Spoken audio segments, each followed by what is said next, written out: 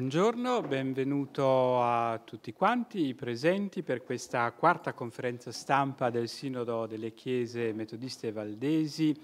eh, in corso a Torre Pellice in provincia di Torino. Eh, un saluto particolare va agli ascoltatori e alle ascoltatrici di Radio Bequite Evangelica che ci ascoltano e ci vedono in streaming in diretta e anche alle ascoltatrici e agli ascoltatori di Radio Voce della Speranza Firenze che invece ci ascolteranno in eh, differita. Eh, titolo di questa conferenza stampa è Benedette famiglie, un tema eh, di attualità e anche diciamo così, eh, eh, in, contemporanea con la discussione sinodale perché proprio di questo si è discusso nel, nell'aula in, questi momenti. Ne parliamo con eh, Paola Schellenbaum che è membro eh, della Commissione Famiglia, Matrimonio, Coppie e Genitorialità, un nome molto complesso che dà l'idea di come si voglia affrontare l'argomento da più punti di vista, ma che è semplificato, un nome che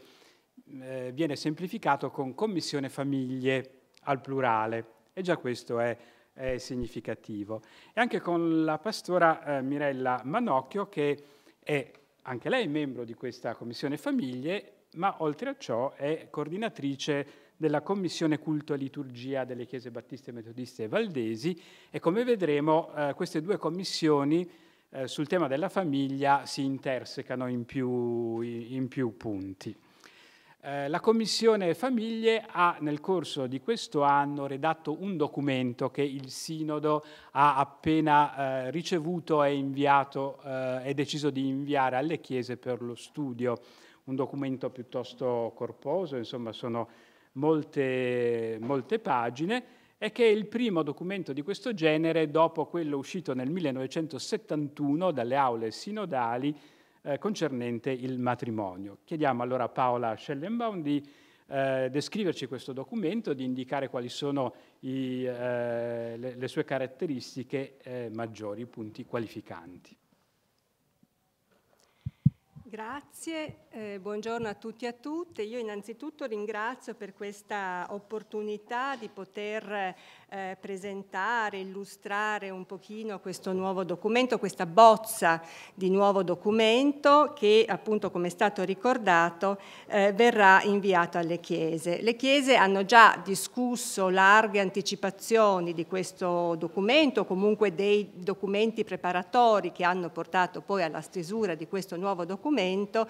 e quindi è già stato fatto un cammino insieme alle chiese ed è stato fatto un cammino anche insieme alla società civile, nel senso che in questi anni, da quando la Commissione Famiglie è stata istituita dalla tavola valdese, eh, ha appunto lavorato in dialogo con altre realtà, insomma sia ecclesiastiche e sia appunto eh, della società civile.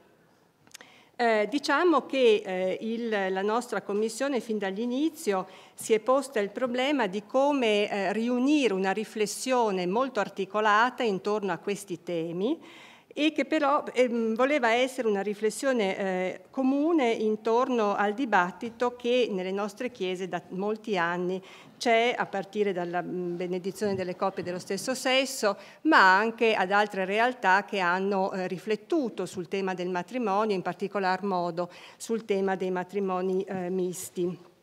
E eh, sulla vita di coppia, sulla genitorialità e il punto saliente è il tentativo di allargare il nostro sguardo, allargare il nostro eh, orizzonte, allargando la tenda. Questa è una espressione che ritroviamo, eh, una espressione biblica, insomma un versetto biblico che ritroviamo in Isaia 54, versetto 2 ed è un, appunto un versetto che mi è molto caro. Eh, diciamo che il, due parole su come abbiamo ehm, lavorato in collaborazione però anche con altre eh, commissioni, in particolar modo appunto con la commissione ehm, BMV, cioè ehm, Battista, eh, Metodista e Valdese, Culto e Liturgia, e, di cui poi vi, vi, parlerà la pastora Manocchio, eh, che da anni appunto eh, sta ehm, cercando di elaborare una nuova eh, liturgia, in particolar modo sulla benedizione delle coppie eh, che non si possono sposare, che non, che non si sposano appunto e, e, e, che quindi sono coppie unioni civili, diciamo. Eh, e diciamo che ci siamo innestati anche nella stesura di questo nuovo documento in un cammino ecumenico Tant'è vero che questo nuovo documento non è totalmente sostitutivo dei documenti precedenti, in particolare appunto eh, il documento sul matrimonio del 1971, eh, ma eh, ovviamente neanche del, eh, della, del, testo comune per un indirizzo pastorale che è stato sottoscritto eh, con la CEI nel 1997 ehm, e poi nel 2000 con il documento applicativo. Noi in, nella bozza di nuovo documento riportiamo ampi, eh, ampi stralci e del documento del 1971 sul matrimonio e di questo testo eh, comune. Eh, mh, vorrei leggervi una, una frase, una, giusto per, per, darvi anche un po' il senso eh, di questo eh, documento e che riassume eh, no, lo scopo de, del nuovo documento, dice la famiglia fondata sul matrimonio rimane dunque rilevante ed è disciplinata nel documento sul matrimonio appunto del 1971, ma essa non può più essere considerata forma privilegiata o addirittura unica. Da tempo la stessa Corte Costituzionale ha affermato che la stabile convivenza tra due o più persone, anche dello stesso sesso, costituisce una comunità semplice o complessa, idonea a consentire e favorire il libero sviluppo della persona nella vita di relazione, nel contesto di una valorizzazione del modello pluralistico, così come prevede l'articolo 2 della nostra Costituzione. Ecco, quindi questo è un po' il quadro in cui ci siamo eh, eh, mossi. Eh, resta dunque ovviamente centrale la definizione di matrimonio ehm, che appunto ricordiamo non è un sacramento per, per, le nostre chiese, per la nostra teologia, ma ehm, è una forma particolare di amore del prossimo e dell'alleanza di grazia che lega i credenti a Dio. Cioè viene, non è neanche la prima volta nel documento del, 71 che se ne parla in questo modo, ma è ancora antecedente, quindi diciamo che abbiamo cercato di avere anche uno sguardo storico, eh, e cioè un modo cristiano di vivere le relazioni all'interno della famiglia e non un matrimonio cristiano, cioè appunto un sacramento. Eh, nel, nel resto del documento si presentano, eh, e qui non mi dilungo, insomma, le, le, l'ampiezza e la profondità delle trasformazioni sociali e le implicazioni anche, per esempio, per i rapporti di genere, eh, con un approccio a più livelli. Quattro sono i livelli, cioè quello biblico, eh, quello teologico,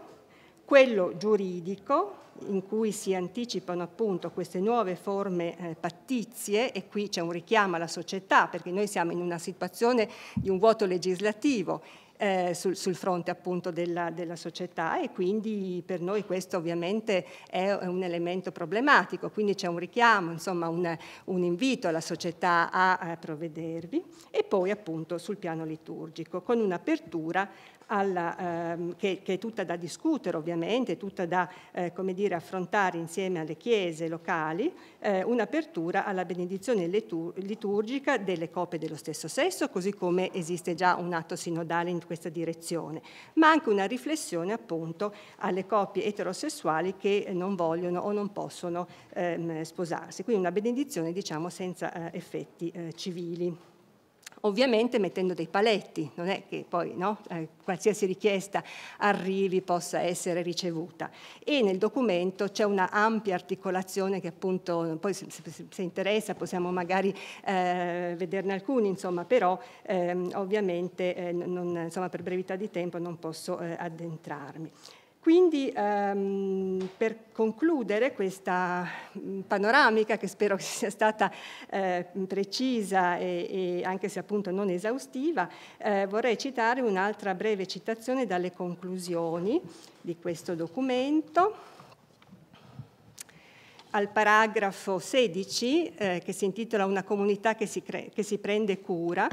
alla luce delle considerazioni fin qui espresse, non si tratta di mettere in discussione la centralità del matrimonio, che rimane la forma più diffusa ed importante dell'amore coniugale, ma si tratta piuttosto di includere altre forme di unioni riconosciute, accompagnate e sostenute da una comunità che si prende cura non solo dei membri adulti che possono attraversare crisi e difficoltà, separazioni e divorzi, ma anche in particolar modo dei membri più giovani. Essi sono spesso l'anello debole in circostanze difficili e di transizione da una composizione familiare ad una successiva riconfigurazione delle relazioni nelle cosiddette famiglie ricomposte. Eh, una vera e autentica comunità cristiana sa rivolgere parole che risuscitano le relazioni, facendo sperimentare la potenza di vita che fa sentire accolti dall'amore di Dio in un cammino di accompagnamento spirituale e nelle innumerevoli occasioni di incontro. E poi potrei continuare, ma mi fermo qui. Bene, ringraziamo Paola Schellenbaum per questa panoramica su un documento molto corposo eh, e che mi sembra appunto abbia questa caratteristica di andare verso la pluralità, insomma, proprio come Commissione Famiglie è plurale, quindi non di sostituire una cosa con un'altra, ma di verificare le nuove modalità eh, del, della, famiglia, della, famiglia, oggi. Vorrei ricordare anche che il, questo documento che è stato inviato alle chiese in vista di un loro parere per una approvazione l'anno prossimo. Quindi in questo momento è un documento di studio, mentre l'anno prossimo si procederà invece all'esame in base ai risultati eh, del, dello studio delle chiese e alla sua eventuale approvazione. Passiamo ora a eh, Mirella Manocchio, alla pastora eh, Manocchio, eh, che ci parla invece di eh, qualcosa di eh, collegato, ma in qualche modo anche diverso, e cioè quest'anno il Sinodo procederà all'approvazione o meno, perché ancora non è avvenuto in aula questa discussione, ancora non c'è stata, sul testo sulla proposta di un testo di liturgia di benedizione per coppie dello stesso sesso. Quindi alla fine di, que- di questo sinodo avremo un'approvazione oppure no, insomma lo, lo vedremo. Questa, eh, questo, questo, passo succede appunto al, eh, in base alla decisione del 2011 quando il sinodo permise eh, alle chiese che avessero fatto un particolare cammino di procedere alla benedizione di coppie dello eh, stesso sesso eh, nel, nel, proprie, durante i propri culti e così via. Adesso la, comuni- la Commissione Culto e Liturgia è arrivata al, a stilare una, una liturgia che diventerà poi quella ufficiale. Chiediamo alla pastora Manocchio di illustrarcene i punti. Grazie per questa opportunità, eh, un saluto alle nostre ascoltatrici e agli ascoltatori. E, ehm,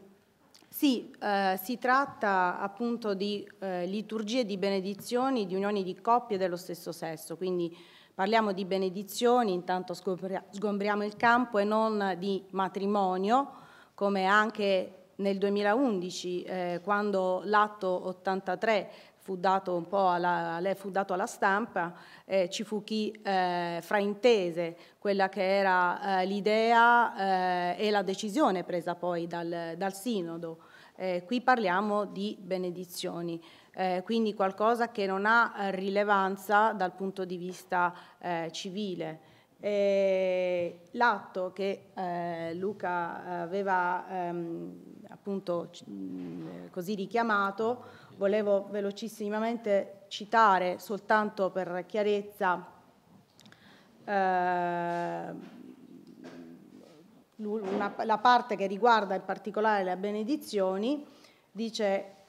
leggo, eh, chiede di conseguenza il sinodo, chiede di conseguenza alle chiese che ove sorelle e fratelli della nostra chiesa o appartenenti ad una chiesa evangelica richiedano la benedizione di un'unione omosessuale, si proceda nel cammino di condivisione e testimonianza e laddove la Chiesa locale abbia raggiunto un consenso maturo e rispettoso delle diverse posizioni, essa si senta libera di prendere le decisioni conseguenti, rimanendo in costruttivo contatto con gli appositi organismi. Ecco, eh, ovviamente eh, per poi procedere a ehm, a effettuare queste benedizioni, ne sono già avvenute alcune, ehm, i pastori e le pastore hanno eh, cercato di utilizzare eh, qualcosa che era già presente eh, nostri, eh, nel nostro materiale liturgico già approvato, eh, cercando in qualche modo di eh, adattarlo alla situazione, però ovviamente mancava invece, mancavano invece delle liturgie apposite. E questo è stato il compito che abbiamo ricevuto come commissione, quello di stilare delle liturgie apposite che tenessero conto un po' della pluralità delle situazioni, che tenessero conto anche della storia, eh, possibilmente del travaglio in alcuni casi, eh, per cui eh, una coppia eh, giunge eh, a questa decisione, in un certo qual senso ci si sente anche chiamata eh, da Dio stesso. Ehm, e quindi abbiamo eh, stilato eh, due liturgie, due schemi di liturgia eh, che contengono um, per ogni parte una pluralità di testi, quindi non sono testi singoli, ma ci sono in alcune occasioni eh, per alcune parti due testi, eh, per altre parti ce ne possono anche essere tre. Proprio per cercare, così potrei usare questa parola, di incarnare la liturgia eh, nella situazione, nella condizione delle, delle persone che eh, hanno chiesto di poter eh, avere questa invocazione di benedizione eh, da, da, parte della comunità dei credenti, dalla Chiesa, eh, dalla propria Chiesa e eh, dinanzi a Dio ovviamente. Ehm, sono due schemi leggermente diversi perché uno eh, riguarda un culto eh, ad hoc per una coppia appunto che eh, voglia eh, avere una, una eh, liturgia proprio eh, ad hoc de, del, del, culto e l'altro invece si inserisce come accade già eh, sia per le benedizioni di coppie che si sono già sposate civilmente ma anche per dei matrimoni all'interno del culto domenicale.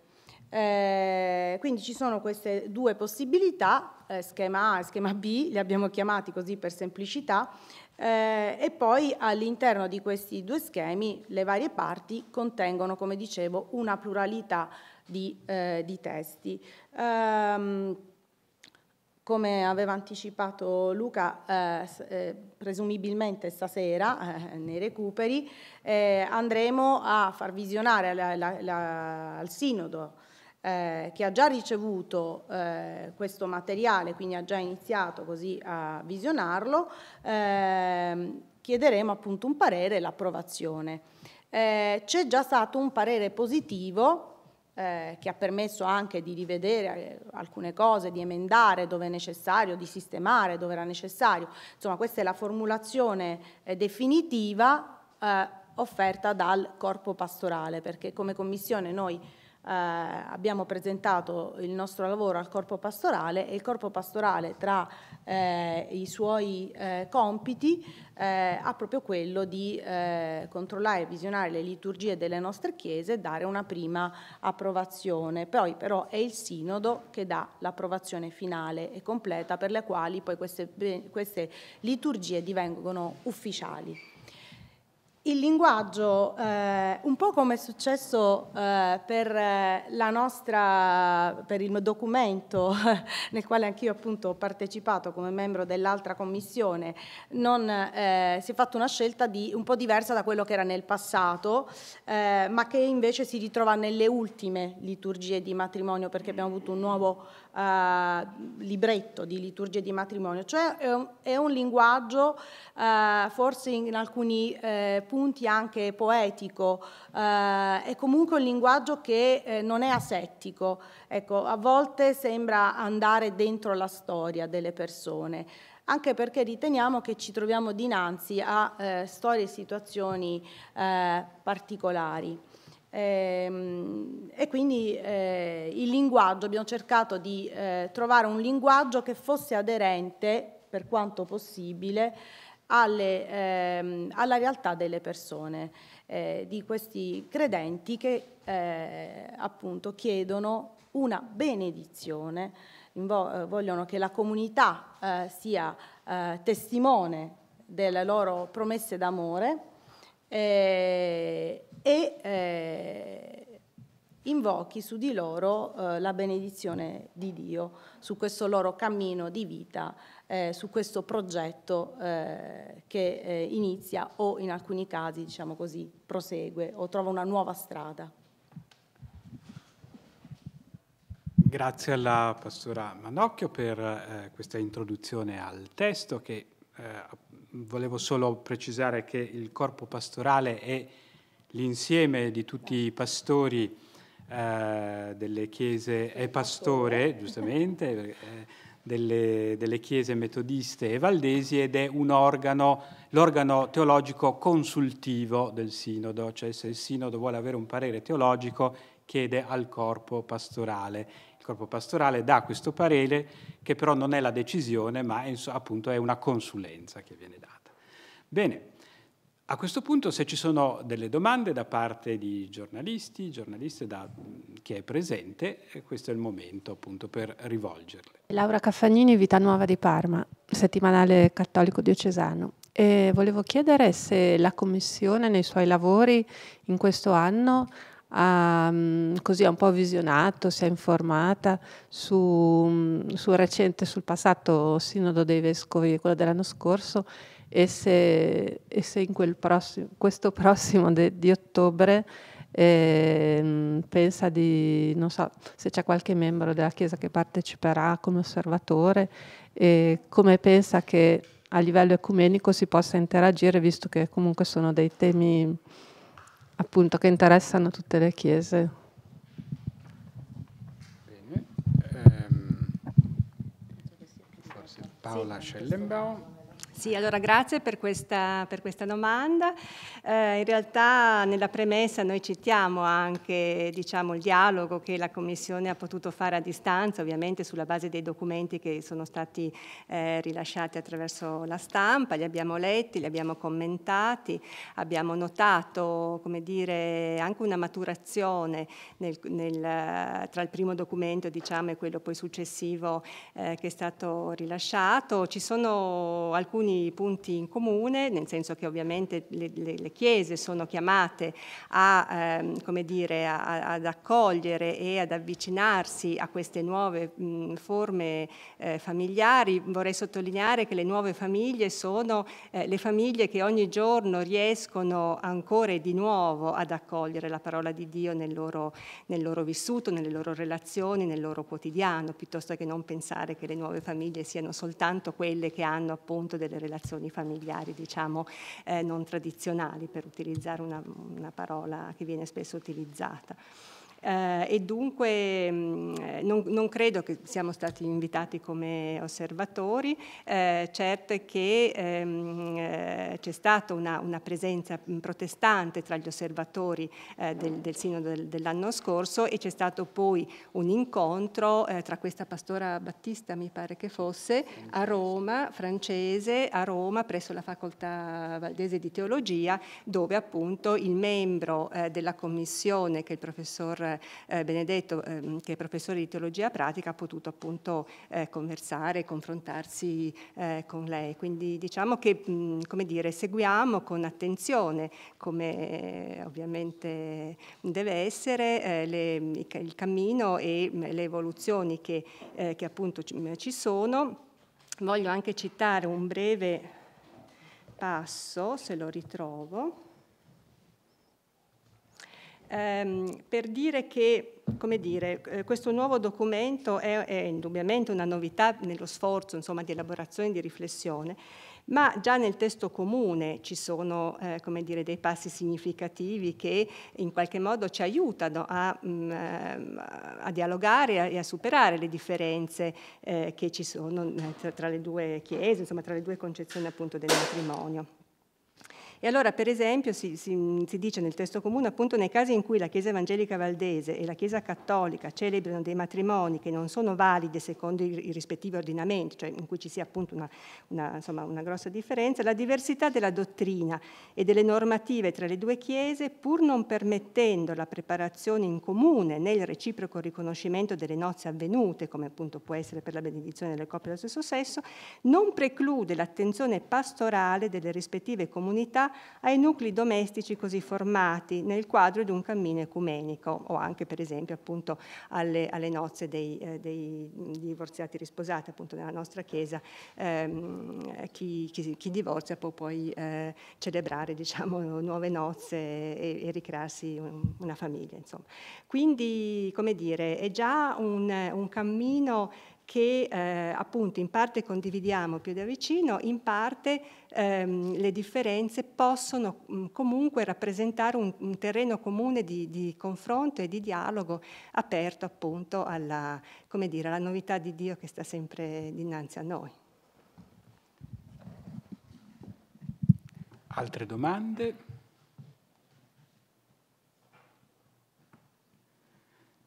Magari allora ne faccio io una un po' banale alla pastora, no, alla pastora Manocchio, ma in questa liturgia, non lo so, ci sono delle promesse che vengono fatte, delle, eh, insomma,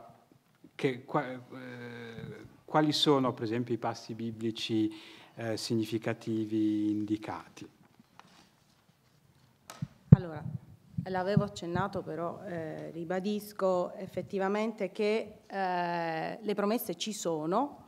eh, sono un punto importante eh, di queste liturgie, sono state anche un punto un po' così discusso, però eh, come commissione e poi il corpo pastorale nel suo insieme abbiamo ritenuto che le promesse fossero rilevanti eh, nell'ambito di questa liturgia di benedizione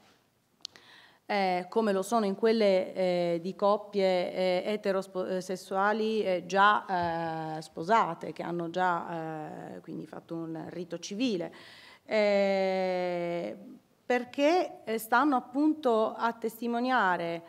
la volontà di questa coppia di promettersi il proprio amore, reciproco amore, non soltanto tra loro due, e non soltanto dinanzi a Dio, perché Dio sappiamo è ovunque, quindi ovunque uno lo potrebbe fare, ma di chiamare la, la Chiesa,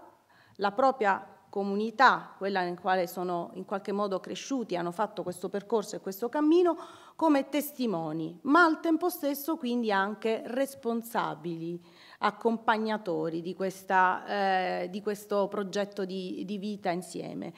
E, eh, e, questo elemento del, eh, dell'accompagnare, di farsi quindi eh, respons- di essere responsabili e di camminare insieme alla coppia era uno degli elementi eh, secondo noi di novità eh, nel nostro documento eh, poi sul chiamiamolo famiglie. Ehm, perché appunto c'è questa parte sulla cura eh, che riteniamo essere un elemento importante, eh, rilevante per tener conto appunto de, delle situazioni di fragilità, ehm, di difficoltà che possono esistere, ma anche quelle gioiose che comunque hanno bisogno in qualche modo che la comunità le condivida, che la Chiesa le condivida. Quindi ehm, ecco, eh, ci sono qui e, eh, sono un elemento che eh, diciamo, mette così in vicinanza eh, nostro, eh, la parte liturgica con eh, quelli che sono gli elementi teologici ed ecclesiologici, scusate, che sottende. Eh, testi biblici interessanti, ce ne sono più di uno, ma ne cito uno, un paio. Ecco. Eh, uno dei testi nell'invocazione, nel primo schema, nell'invocazione è carissimi, amiamoci gli uni gli altri, perché l'amore da Dio e chiunque ama è nato da Dio e conosce Dio.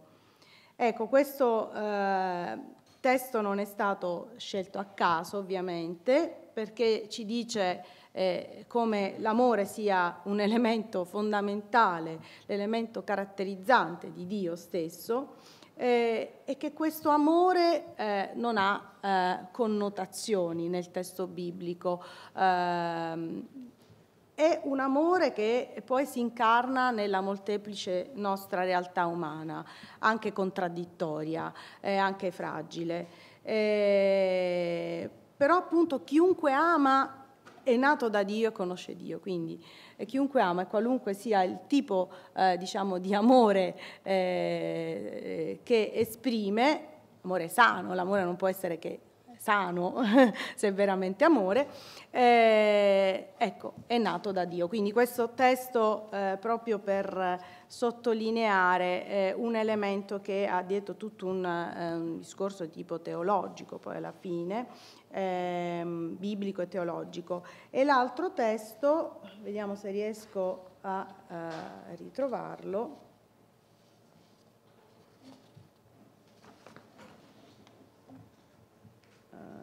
scusate perché ora ovviamente la... Ehm... Sì, l'altro testo eh, parla del patto, eh, del patto che Dio ha fatto con il popolo di Israele. Anche se i monti si allontanassero e i colli fossero rimossi, l'amore mio non si allontanerà da te. Nel mio patto di pace sarà rimosso, dice il Signore, che ha pietà di te. Questo è Isaia 54, 10 questo passo perché eh, noi riteniamo che appunto eh, Dio ha stipulato, eh, usiamo questo termine, ha fatto un patto con il popolo di Israele che poi tramite Gesù Cristo si è allargato all'umanità tutta e che questo patto rimane eh, fermo e valido benché noi siamo infedeli in questo patto e che il patto eh, che Dio ha fatto con l'umanità e poi, come dire, l'impronta eh, e l'orizzonte nel quale si scrivono i nostri patti, i patti umani, eh, con la fragilità e l'imperfettibilità ovviamente che ci contraddistingue, però hanno quell'orizzonte, hanno quel, eh, quell'elemento ecco, che eh, li mantiene saldi se sono eh, patti di, eh, ovviamente questo per chi è credente, non parliamo di, eh, di persone che non, non hanno la, la, nostra visione di fede, ma chi ha la visione di fede noi riteniamo che ehm, il patto che Dio ha stipulato con l'umanità, ha fatto con l'umanità un patto d'amore, eh, sia l'orizzonte nel quale si scrivono i nostri patti d'amore quindi anche quello delle coppie dello stesso sesso.